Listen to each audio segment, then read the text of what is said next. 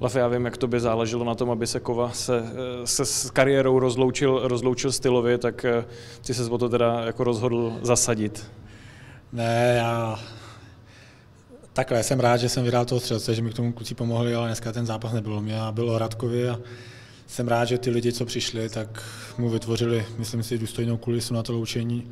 Chtěl bych za tom poděkovat a Radkovi samozřejmě taky a popřát mu do těch dalších funkcí hodně štěstí a jenom škoda, že si to nemohl vychutnat, že nemohl střídat ke konci. že vlastně se ten Bořek zranil, ale i tak si myslím, že to bylo hezký.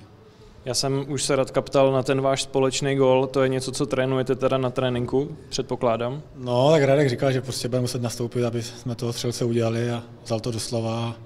Musím mu za to poděkovat. No. Škoda, že mu rozhodčí neuznal ten jeho gol, to by bylo stylový loučení.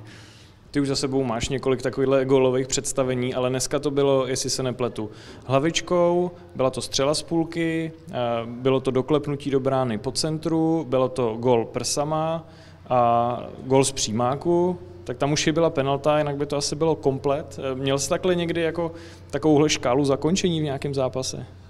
Tak zakončení jo, ale ne, ale ne golově. Takže ne, dneska to byl takový zápas, kdy prostě asi do čeho bych kop, tak tam spadlo a někdy člověk může dělat, co chce a u toho gola nedá ani z metru, takže jsem za to rád, ale musím říct, že uh, střelcem, nebo tu krále, korunu krále střelců jsem získal, protože mám tady ve Spartě dobrý spoluhráče a hlavní dík patří jim. Každopádně pro tebe myslím, že pátý titul krále střelců, tak eh, to už je něco, na co by si mohl být pišnej.